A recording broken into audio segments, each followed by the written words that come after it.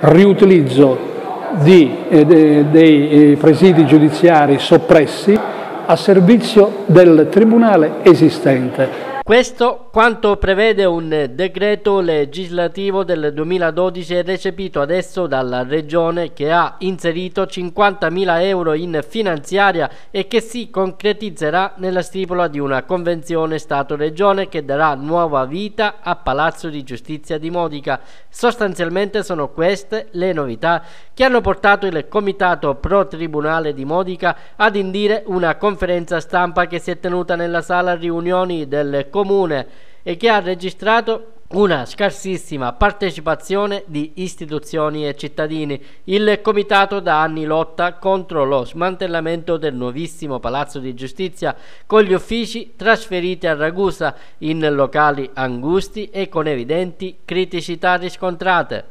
Perché lì a Ragusa c'è una relazione del genio civile dove afferma che ci sono forti criticità strutturale. Bisogna riaprire la struttura perché tenerla chiusa è un peccato e perché i cardini della legge che ha, che ha soppresso questi tribunali un po' dappertutto andata, sono, sono, andati all'aria perché uno, uno di questi era la, la economicità dell'operazione che non si è verificata. Il presidente della regione ha adesso quindi sposato la causa e preso un impegno preciso con i comitati pro tribunale. Il presidente della regione ha preso l'impegno di accompagnare i comitati in un incontro che avremo col prossimo Ministro della Giustizia per fare chiarezza e soprattutto per dare eh, definitiva soluzione al problema. Il presidente del comitato Enzo Galazzo ha voluto togliersi anche qualche sassolino dalla scarpa. L'atteggiamento che è stato tenuto